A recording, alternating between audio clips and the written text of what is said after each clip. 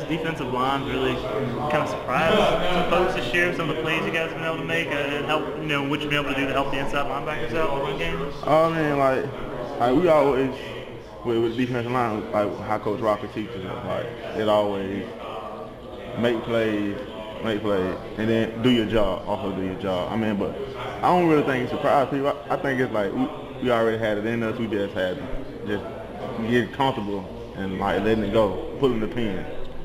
You know, it's just you know, during the preseason, Rick and Rocker were saying we got to rely on a rotation and all that, but it seems like the starting three, four guys are really, you know, you guys are doing your thing out there. Um, does it feel like you guys are have really gotten a grasp on everything and are producing at a high level?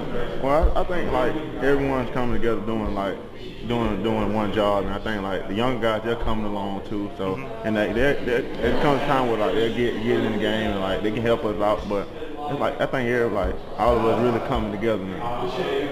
When it comes to a, I know they, they were able to hit some plays in the option run, um, and that was kind of a surprise to South Carolina. But when, when against a conventional run, you guys have been real strong against that. Um, you know, how big is that for you guys to come out and, stop the run early in these games? Well, I think it's like like if you start the run, then what else can you go to? Yep. Like start to run up up front, then they, you can, like you can build off things. Then like really want to have them second and long, third and one instead of second and two, second and two, third and one. Really make the game easy.